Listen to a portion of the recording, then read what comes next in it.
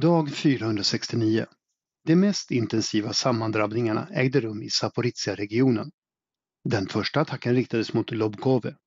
Ukrainarna ska ha använt minst två trupper bestående utav fyra pansarstridsfordon och två Humvees, vilket betyder att det var en lätt spaningsoperation. Efter en kortare strid hade ukrainarna läst av de mest aktuella ryska positionerna och antalet trupper som försvarade dem och drog sig därefter tillbaka med mindre förluster. Omedelbart efter attacken besköt ukrainskt artilleri i samarbete med drönaroperatörer regionen intensivt. Efter en snabb omgruppering attackerade ukrainarna ryssarna i Lobkove igen.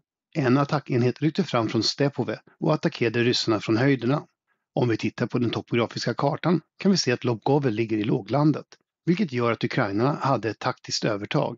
Men ryssarna i Serebianski befinner sig också på förhöjda positioner och kan med lätthet skjuta mot ukrainarna det var därför den andra ukrainska gruppen avancerade längs ravinen, attackerade Serebianski och drog bort deras uppmärksamhet från huvudmålet. Ryska källor rapporterade att de stoppade Ukraina en kilometer från Serebianski, vilket innebär att ukrainarna aldrig lämnade ravinen och bekräftar att de bara distraherade fienden.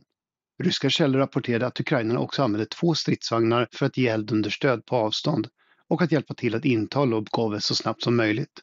Som ett resultat bekämpade ukrainarna ryssarna i Lobkove och penetrerade ryska positionerna två kilometer. Vissa ryska källor rapporterade att ukrainarna omedelbart övergav Lobkove och byn blev en gråzon. Men precis som förra gången baserades dessa rapporter på det faktum att ukrainarna drog tillbaka tung utrustning från kontaktlinjen efter ett lyckat överfall.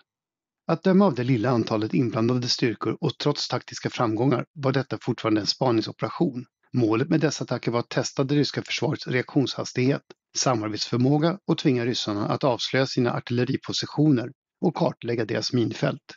I det långa loppet kommer en framgångsrik utveckling av attacker här att säkra flankerna och göra det möjligt att överväga djupare penetration i huvudriktningen, vilket ligger söder om Orysjivy.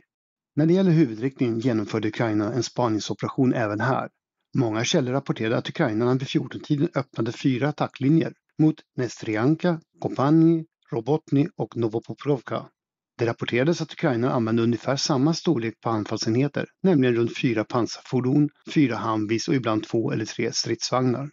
När det gäller riktningen Velika-Novosilika rapporterade ryska källor att ukrainarna attackerade Levadne från Olishkev och Novodarivka och Rivnopil från Novopil och kullarna väster om Storoseve. Om vi tittar på den topografiska kartan kan vi se att Ukraina inte nödvändigtvis siktar på att säkra bosättningarna utan snarare taktiska höjder. Ukraina kontrollerar redan den högsta positionen i regionen, vilket är Novopil. Så genom att gradvis öka kontrollområdet i trädgränserna runt Novodarivka och Rivnopil undergräver ukrainarna gradvis det ryska försvaret. Detta är väldigt synligt söder om Novosilka. Genom att kontrollera kullarna väster om floden kommer Ukraina att kunna tvinga ut ryssarna från bosättningen i låglandet utan strid. Och det verkar som att detta redan inträffar. Även om ryska källor hävdar att de inte förlorade Neskutjne och Storozheve bekräftade de att ukrainarna framgångsrikt etablerade kontroll över kullarna runt dessa bosättningar, vilket försatte ryssarna i en mycket svår situation. Slutligen, när det gäller den tidigare framgångsrika ukrainska attacken mot Novodonetska har området för ukrainsk kontroll minskat på grund av de ryska motattackerna. Trots detta bekräftar ryska källor även här att ukrainarna behöll sitt fotfäste söder om floden placerat på de taktiska höjderna väster om bosättningen. Vi kan notera att chefen för Wagnerstyrkorna, Prigozjin, sannolikt hade rätt när han kritiserade det ryska överkommandots besatthet av bosättningar. Han sa att vanliga ryska styrkor ofta prioriterat hålla eller inta bosättningar framför taktiska positioner runt dessa bosättningar, vilket i grunden innebär att man väljer den svåraste vägen. Prigozjin sa att detta blir snygga rapporter istället för bra situationer på marken. Prigozjin förlöjligade också den senaste ryska situationsrapporten, där försvarsminister Shoigu rapporterade att de förstörde åtta Leopard-stridsvagnar under strider runt Novodonetske. Det ryska försvarsministeriet beslutade att stå på sig om sina påståenden och för att stärka sitt rykte postade de filmer om hur dessa attackhelikoptrar K-52 förstörde fyra Leopard bara tre kilometer norr om Novodonetske.